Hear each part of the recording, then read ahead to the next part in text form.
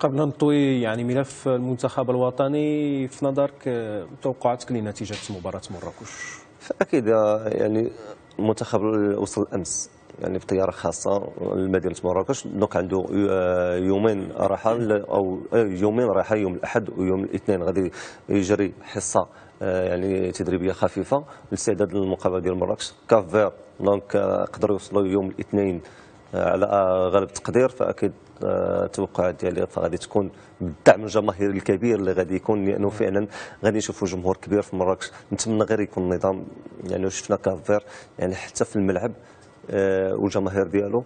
آه، آه، الكراسي مرقمة. يعني هذا يعني منتخب اللي حديث العهد يعني 1982 وشفنا واحد الطفره نوعيه لهذا المنتخب هذا. ولكن شفنا النظام اللي, اللي ديال المقابلة. مثلا الماتش يعني بكل روح رياضية. بكل روح رياضية فعلا ما قلتيش نتيجة الماتش النتيجه فغادي تكون حصة ديال ثلاث أهداف إن شاء الله. إن شاء الله هذا ما نتمناه